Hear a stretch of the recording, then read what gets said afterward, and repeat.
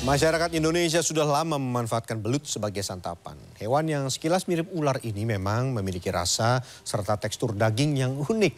Tidak hanya itu, belut sendiri juga mengandung banyak manfaat. Nah, jurnalis foto Gancar Wicaksono mengajak kita mencicipi beberapa olahan belut khas kota pahlawan Surabaya yang membangkitkan gairah jiwa.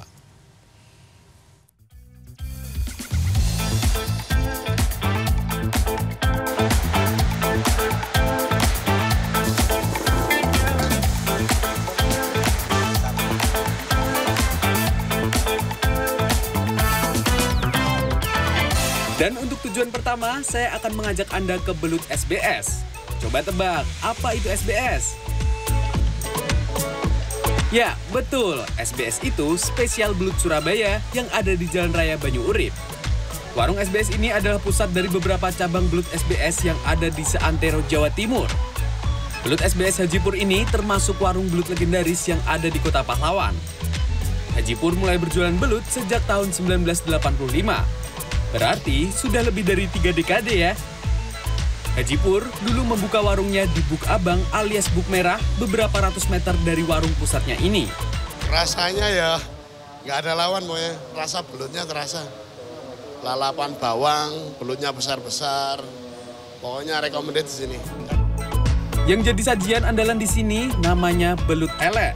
Artinya di bahasa Indonesia adalah belut jelek. Loh, kok jelek pak? Kayak nilai raport saya dulu ya. Nama belut elek sebenarnya ditemukan secara tidak sengaja oleh Haji Pur. Saat itu, belut sedang digoreng, tiba-tiba kompornya kehabisan gas, padahal belut masih seperempat matang.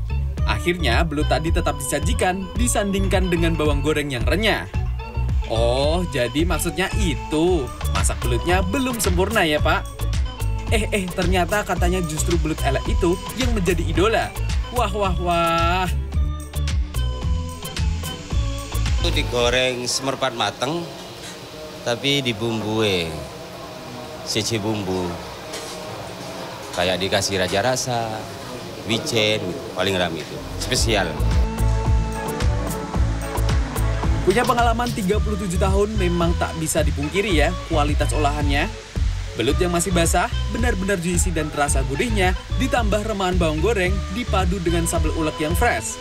Aduh, gak bahaya tah? Dengan harga Rp30.000 untuk belut saus Inggris dan Rp28.000 saja untuk belut elek, membuat kita bisa makan dengan tenang tanpa takut kantong kita kebobolan.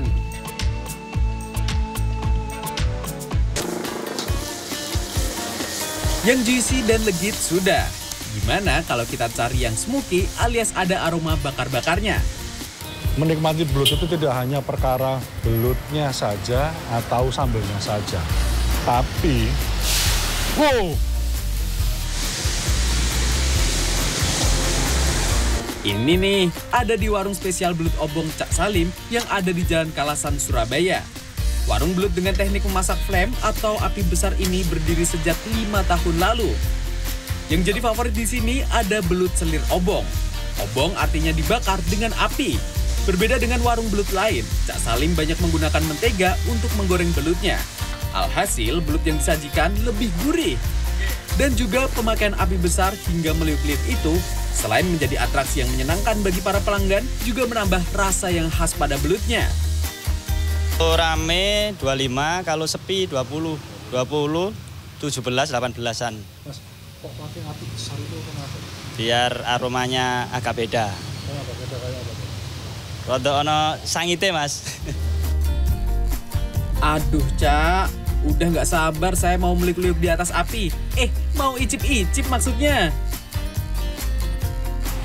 Ini kita coba unboxing belut selir opung yang tadi itu apinya lah. kayak apa rasanya ya. Kita coba belutnya.